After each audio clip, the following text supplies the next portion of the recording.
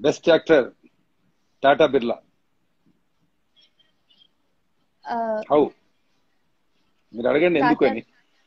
అదే అదే ఎందుకు సార్? మొన్న భారతదేశం కోసం.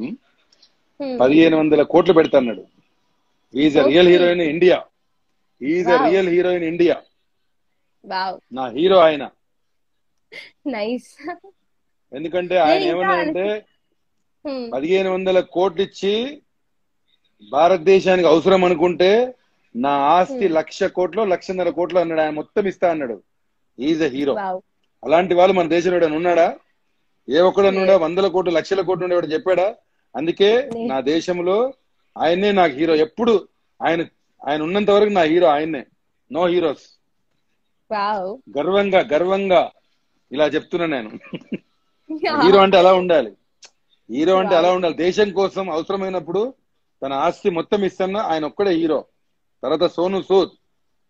ఇవాళ. ఎక్కడో బాంబేలో ఉండి ఎక్కడో చిత్తూరులో ఎక్కడో ఢిల్లీలో ఎక్కడో మధ్యప్రదేశ్లో ఎక్కడో ఉత్తరప్రదేశ్లో ఎక్కడెక్కడో గుజరాత్లో ఎక్కడెక్కడికో పంపిస్తున్నాడు.